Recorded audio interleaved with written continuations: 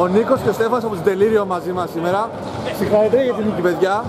Οριακό μάτς, κρίθηκε στο τέλος. Βασικά είχατε μια διαφορά, αλλά τη μαζέψανε, κρίθηκε στο τέλος.